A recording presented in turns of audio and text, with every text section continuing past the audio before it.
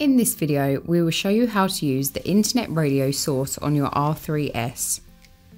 Internet radio gives you access to radio stations all over the world, including podcasts and catch up shows. To use Internet radio, your R3S needs to be connected to your Wi Fi network. So if you have not already done so, please follow the R3S setup video, which explains how to do this.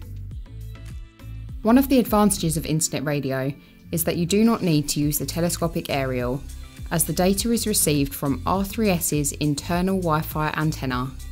However, you should still ensure that your R3S is placed in a position with good Wi Fi signal.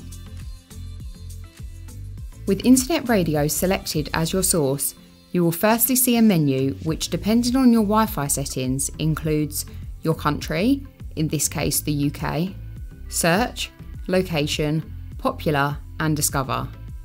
For most, you will likely find the station you require by using the control knob to scroll to and selecting popular like so. Depending on your location, this displays a list of popular stations from your region. Use the control knob to scroll until you see the station you want and then press to confirm.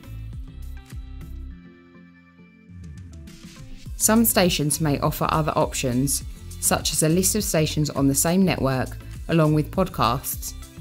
In this case, we are going to listen to BBC Radio 4, so we press once to confirm and again to listen, like so. If you know the name of the station you want, or you want to select a certain type of music, you can use R3S's powerful search function. This allows you to search stations from all over the world just by using key letters or words, such as BBC, Classic, or Jazz. To do this, press the menu button and then scroll to and select Station List and then select Search.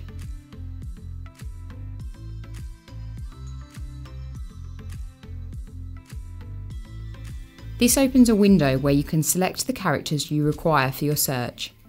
To keep it simple, here we are going to select and type the letters BBC, like so.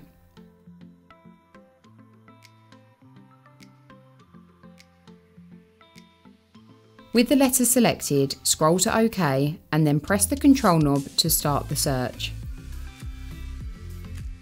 R3S now displays a list of all stations that have the letters BBC in their name. Scroll to the station you want and as before, use and press the control knob to select.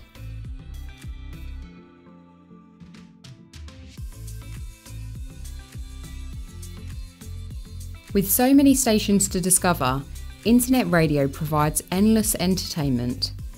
To quickly recall your current favourites, save these as presets.